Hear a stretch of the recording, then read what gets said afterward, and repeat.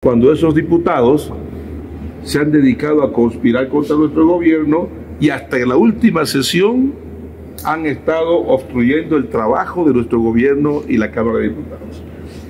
Reflexiono solamente cómo reaccionaría cada uno de ustedes cuando durante las sesiones me han llamado alcahuete, dictador, HP, etcétera, etcétera, en muchas oportunidades. Pero no Solamente eso le pregunto y obviamente yo pido disculpas a la sociedad, a la sociedad boliviana por ese abrupto que tuve, pero por supuesto también llamo a la reflexión y le quiero decir que hemos aguantado 360 días insultos, agravios de toda índole y por supuesto eh, llega un momento en que la paciencia se agota también. En este caso, el análisis de toda la gestión, hoy se cierra la gestión, que es lo que se va a evaluar, a destacar.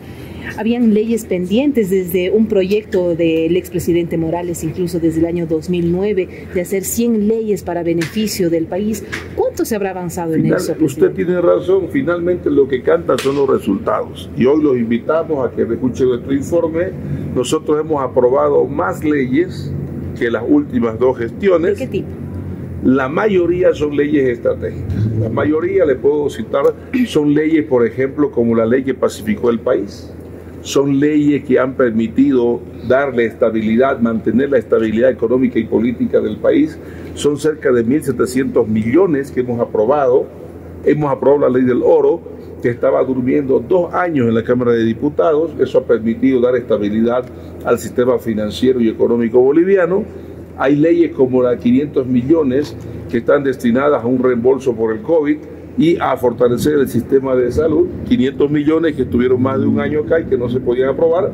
Hay una ley que es el circuito de los, de los dinosaurios que estaba 12 años dormida en la Cámara de Diputados y en esta gestión la más complicada de la historia política del país, hemos logrado aprobar todas esas leyes estratégicas.